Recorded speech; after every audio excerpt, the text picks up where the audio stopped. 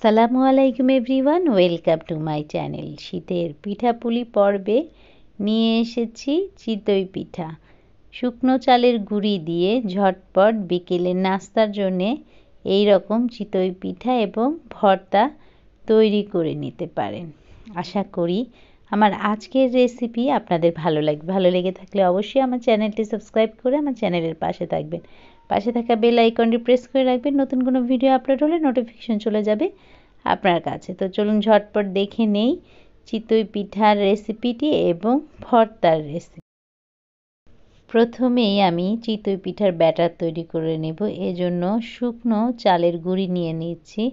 বাজার থেকে শুকনো চালের গুঁড়িটি কিনে নিয়েছিলাম। তিন কাপ পরিমাণ নিলাম আর টেস্ট অনুযায়ী লবণ দিয়ে দিলাম। মিশিয়ে নিচ্ছি, মিশিয়ে নেওয়ার পর এর মধ্যে এখন আমি গরম পানি দিব। গরম পানিটা, কুসুম গরম পানির থেকে আরেকটু গরম হবে।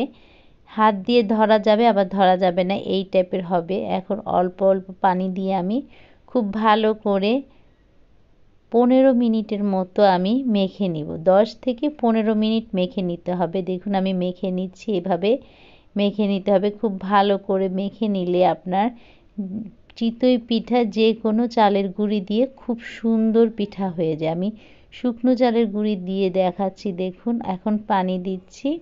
এখন পানিটা কিন্তু কুসুম গরম পানি দিচ্ছি আর মিশিয়ে নিচ্ছি।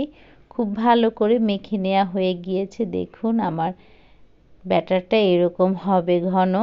আমি রেখে দিচ্ছি আধা ঘণ্টার জন্যে ঢেকে। এখন আমি সরিষা নিয়ে নিয়েছি। এখানে দুই রকম সরিষা, দুই টেবিল চামচ সাদা এবং কালো সরিষা আছে, নিয়ে নিয়েছি, নিয়ে সরিটাকে সরিষাটাকে মুছে ময়লা বেছে নিয়েছি। আমি শুকনো গুঁড়ি করব আর এদিকে রসুন, কাঁচামরিচ আর লবণ রেখেছি।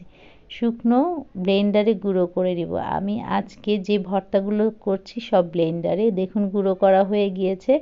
এখন এর মধ্যে লবণ, কাঁচামরিচ আর রসুন দিয়ে এর মধ্যে পরিমাণ মতন সরিষার তেল আর সামান্য একটু পানি দিয়েছি। দিয়ে এখন ব্লেন্ড করে নিচ্ছি। আমি সরিষাটাকে আগে ব্লেন্ড করি যাতে খুব তাড়াতাড়ি ব্লেন্ড হয়ে যায়। দেখুন, হয়ে গিয়েছে ভর্তা। এখন ধনে পাতা, ভর্তা। ধনে পাতাটাও আমি ভালো করে ধুয়ে, পানি ঝরিয়ে রেখেছি আগে থেকে। আর এখানে কাঁচামরিচ, লবণ এবং রসুন নিয়েছি কিছু কিছু করে। এখন আমি ব্লেন্ডারে ব্লেন্ড করে নিব এই সব উপকরণ একসাথে। দেখুন কত সুন্দরভাবে আমার ভর্তা হয়ে গিয়েছে। পাটার কোনো প্রয়োজন হয় না যদি আপনি এভাবে ভর্তা করতে পারেন। দুই রকমের ভর্তা হয়ে গিয়েছে, সরিষা এবং ধনিয়া পাতা।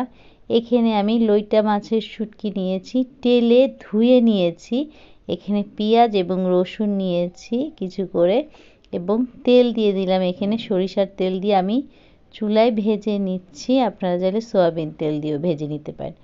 খুব ভালো করে ভেজে নিলাম। নেয়ার পরে এগুলো উঠিয়ে রেখে আমি কিছুটা কাঁচ, শুকনো মরিচ নিয়েছি, টেলে নিচ্ছি। আপনারা চাইলে কাঁচা মরিচও ব্যবহার করতে পারেন, শুকনো মরিচটাও আলাদা। আমি টেলে নিলাম। এখন লবণ দিয়ে সব উপকরণ ব্লেন্ডারে ব্লেন্ড করে নিব। তৈরি হয়ে যাবে আমার শুটকি ভর্তা। দেখুন, হয়ে গিয়েছে। কতটা সুন্দর হয়েছে এবং খেতেও কিন্তু অনেক মজা হয়েছে। আমার তিন রকমের ভর্তা রেডি। শুটকি ভর্তা, সরিষা ভর্তা আর ধনিয়া পাতা ভর্তা। এখন আমি লোহার একটা সাজ নিয়েছি, চুলায় দিয়ে দিয়েছি।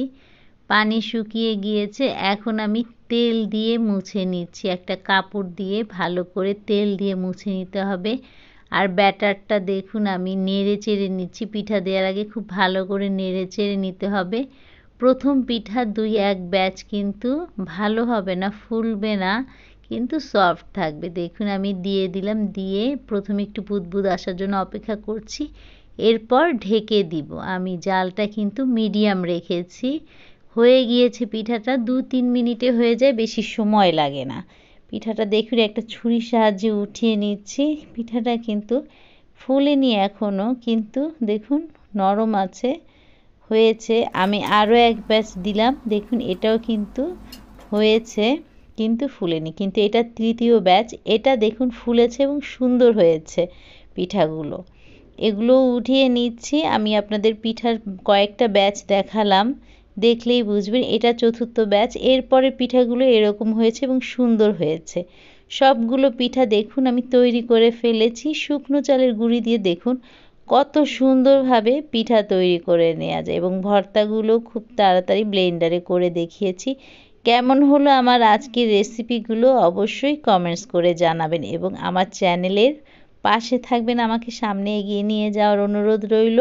আজ এ পর্যন্তই, সবাই ভালো থাকুন, সুস্থ থাকুন, সবাইকে আল্লাহ হাফেজ।